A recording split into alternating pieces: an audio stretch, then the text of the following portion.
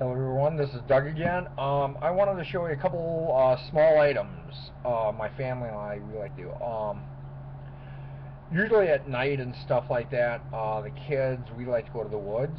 You know, it's only, you know, a few hundred feet from my house, and uh, one of the big things we like to do at night when it's a little bit dark is, in a, in a way, it, it's like, all it is hide and seek.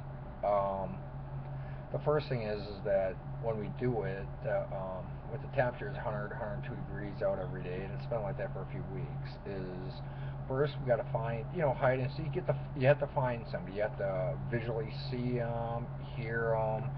You have to pay attention. It's more of a game than anything. Uh, may seem childish to some, but it's great activity. Keeps them moving physically. Keeps me moving.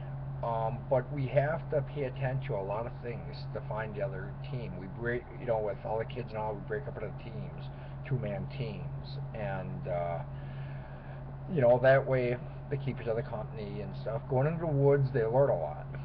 You know, they have to deal with temperature. And Plus, by my house there's a river, so of course there's going to be mosquitoes, and then they got to put on bug spray but you know they got to get used to the elements. And you know some of the projects and some of the things we do, we do a lot of outside activities, hiding around the house and all that. You know some of the things we take with us is uh, we got middle and walkie-talkies.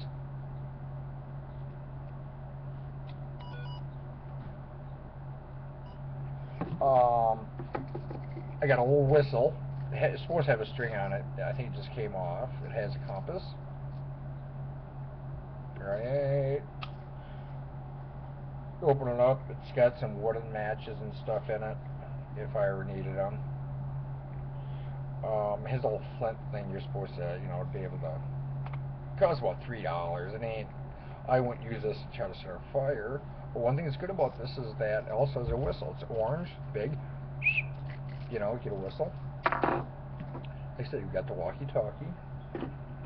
Um, another thing we don't, like a small jackknife. Nothing expensive or anything. Remember, with kids and stuff like that, kids, ain't, my kids ain't allowed to have them on them unless we're backpacking, and then it's in their backpack. You know, something, you know, it's only a dollar. This is my son Micah's. You know, it's pretty sharp.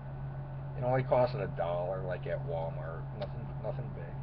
You know, and another thing we take out there and helps us, you know, some of the training is flashlights. Um, these are the windy up ones you they don't take any batteries, just kind of wind it up, you know, for a minute or so, and then you can just,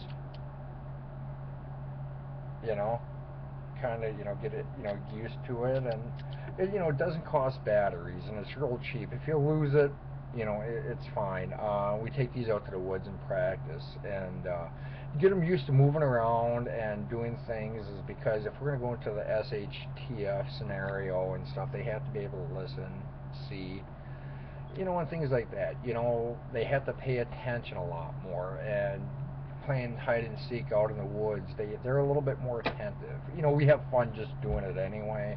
Not everything is about SHTF and that, but you know, it's small items that are free. I, you know, this is only like a buck. Doesn't require any batteries. We've had this flashlight for about three years now. If you like three years at Christmas. Walkie-talkies in case anybody gets lost, and they shouldn't get lost. You know, the whistle itself, if they do get lost, and they shouldn't, all they got to do is stay in their place and blow a whistle. You know, cheap things like this, it keeps the family active.